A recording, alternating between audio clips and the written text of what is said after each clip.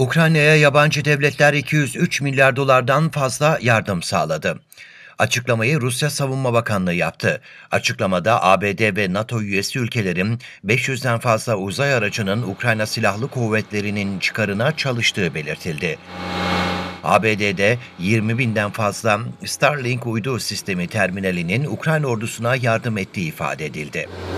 Batı ayrıca Ukrayna'ya Rusya'ya karşı kullanması için savaş araçları ve mühimmat gönderdi. Bugüne kadar yabancı ülkeler Ukrayna'ya 1600'den fazla topçu ve roket sistemiyle 200'den fazla hava savunma sistemi sevk edildi. 5220'den fazla tank ve zırhlı araçla 23 binden fazla insansız hava aracı da yine Ukrayna'ya verildi. Batı'nın bütün desteğine rağmen Ukrayna, Rusya karşısında askeri bir başarı sağlayamadı. Batı, paralı askerleri de Ukrayna'nın hizmetine sundu. Ukrayna'ya 13.500'den fazla yabancı paralı savaşçı gönderdi. 8.500'ü Avrupa, 1.700'ü Asya, 5.900'ü Amerika ve 220'si Afrika'dan getirilen paralı askerlerin 5.900'ü Rus güçleri tarafından etkisiz hale getirildi. 5.600'ü ile savaştan kaçtı. 13.500 paralı askerden yalnızca 1900'ü Ukrayna saflarında savaşmaya devam ediyor. Ukrayna'ya yabancı devletler 203 milyar dolardan fazla yardım sağladı.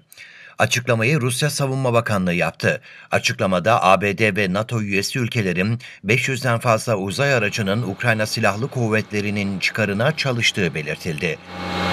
ABD'de 20 binden fazla Starlink uydu sistemi terminalinin Ukrayna ordusuna yardım ettiği ifade edildi.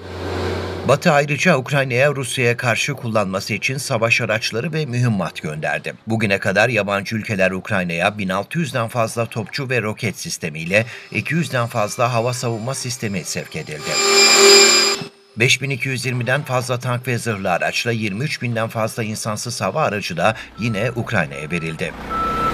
Batı'nın bütün desteğine rağmen Ukrayna, Rusya karşısında askeri bir başarı sağlayamadı. Batı, paralı askerleri de Ukrayna'nın hizmetine sundu.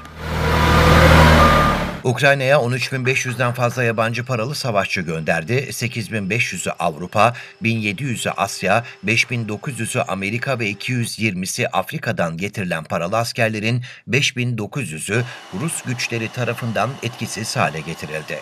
5.600'ü ile savaştan kaçtı. 13.500 paralı askerden yalnızca 1900'ü Ukrayna saflarında savaşmaya devam ediyor.